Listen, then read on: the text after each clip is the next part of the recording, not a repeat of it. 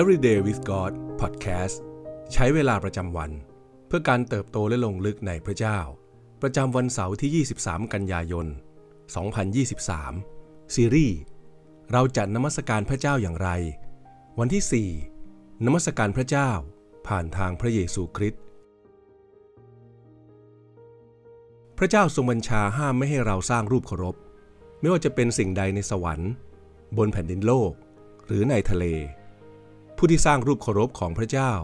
ก็กำลังทำลายพระฉายาของพระองค์ แล้วพระฉายาของพระเจ้าคืออะไร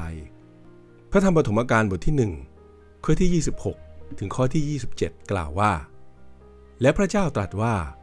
ให้เราสร้างมนุษย์ตามฉายาของเรา ตามอย่างของเรา ให้ครอบครองฝูงปลาในทะเล ฝูงนกในท้องฟ้า และฝูงสัตว์ใช้งาน ให้ปกครองแผ่นดินโลกทั้งหมด และสัตว์เลื้อยคลานทุกชนิด บนแผ่นดินทั้งหมด พระเจ้าจึงทรงสร้างมนุษย์ตามพระฉายาของพระองค์ ตามพระฉายาของพระเจ้านั้น พระองค์ทรงสร้างมนุษย์ขึ้น และทรงสร้างให้เป็นชายและหญิง แม้เราเป็นพระฉายาของพระเจ้า แต่ก็ไม่ได้หมายความว่า เรามีคุณลักษณะทางกายภาพที่เป็นเหมือนกับพระองค์ เพราะพระเจ้าทรงเป็นพระวิญญาณ พระธรรมยอห์นบทที่ 4 ข้อที่ 24 กล่าวไว้ แต่การเป็นพระฉายาของพระเจ้าหมายความว่า พระเจ้าได้ทรงประทานความเป็นบุคคลตามอย่างพระองค์ให้แก่เรา ทั้งความคิด ความปรารถนา และอารมณ์ความรู้สึก เรามีอิสระในการตัดสินใจเลือก ระหว่างความดีและความชั่ว สิ่งที่ถูกต้อง หรือสิ่งที่ผิด ความจริงและการหลอกลวง อาดัมและเอวากบฏต่อพระเจ้าในสวนเอเดน จึงนำมาซึ่งการที่พงพันธ์ของมนุษย์ ต้องตกอยู่ในความบาป อันเป็นผลมาจากความบาปของมนุษย์คู่แรก มนุษย์จึงมีชีวิตอยู่ในความทุกข์ยาก การตายในบาป และการทนทุกข์ทรมานในนรก แต่พระเจ้าได้ส่งพระเยซูคริสต์มาเพื่อช่วยคนทั้งปวงให้รอด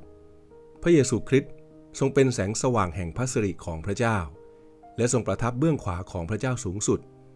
จากพระธรรมฮีบรูบทที่ 1 ข้อที่ 3 ได้กล่าวไว้ พระเยซูทรงเป็นพระเจ้าโดยสมบูรณ์ และเป็นมนุษย์โดยสมบูรณ์ เปาโลกล่าวในโคลสีบทที่ 1 ข้อที่ 15 ว่า พระคริสต์ทรงเป็นพระฉายาของพระเจ้า ผู้ไม่ทรงปรากฏแก่ตา ทรงเป็นบุตรหัวปี เหนือทุกสิ่งที่ทรงสร้าง และได้กล่าวอีกครั้งในพระธรรมโคลสีบทที่ 2 ข้อที่ 9 ว่า ความเป็นพระเจ้าที่ครบบริบูรณ์ทั้งสิ้นดำรงอยู่ในพระกายของพระองค์ การนมัสการพระเจ้า คือการนมัสการองค์พระเยซู การนมัสการของคริสเตียน คือการนมัสการพระคริสต์พระเจ้าทรงมีอำนาจสูงสุดในทุกสิ่งที่เราพูด และทำในการนมัสการ พระธรรมโคลสีบทที่ 1 ข้อที่ 18 ได้กล่าวไว้ ระหว่างทางจากคริสตจักรกลับบ้าน เด็กน้อยคนหนึ่งบอกพ่อแม่ว่า เธอไม่อยากไปคริสตจักรเด็กในวันอาทิตย์อีกแล้ว และเมื่อถูกถามว่าทำไม เธอก็บ่นว่า เพราะที่นั่นไม่มีอะไรใหม่ ๆ เลย ทุกสัปดาห์ก็เหมือนเดิมมีแต่พระเยซู พระเยซู พระเยซู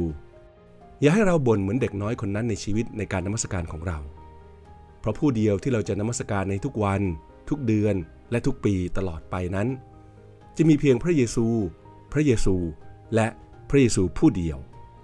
พระธรรมโคลสีบทที่ 1 ข้อที่ 15 ถึงข้อที่ 20 กล่าวว่า